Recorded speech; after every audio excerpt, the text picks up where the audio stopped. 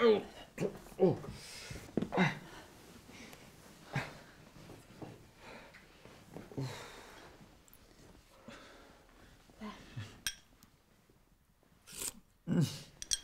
哎呀，哎，这次真得谢谢你了，要是没有你的话，还不知道健身会怎么样呢。没事儿，就 是有事。是啊。真得感谢你，之前还把你当小偷了，不好意思啊。你就好好休息吧，之前的事儿就别提了。只是，我还不知道你叫什么名字呢。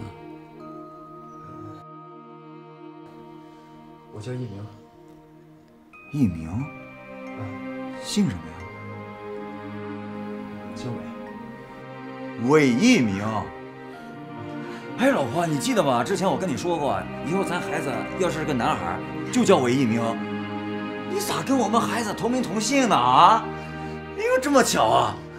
你你你是不是偷听我们小两口说话了啊？行了，哎瞧你这张嘴，连话都不会说。不过话说回来，我觉得你的香水啊，还是别卖了。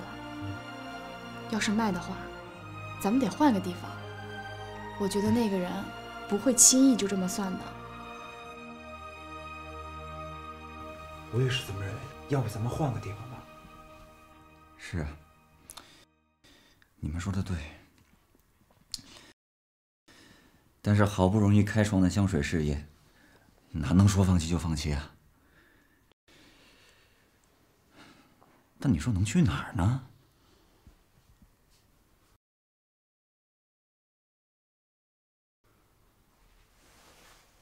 喂，你小子看什么呢？我看我妈呢。啥？啊，那个，不是，你老婆还长得真挺像我妈的。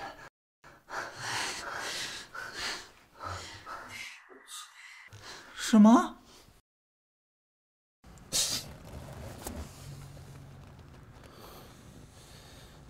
他妈的！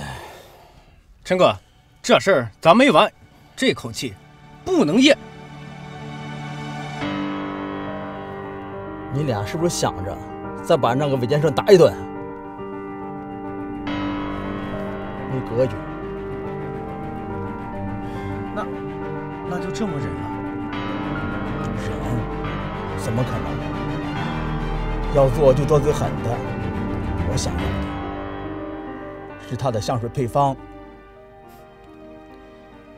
这段时间我看了，那可是笔大买卖。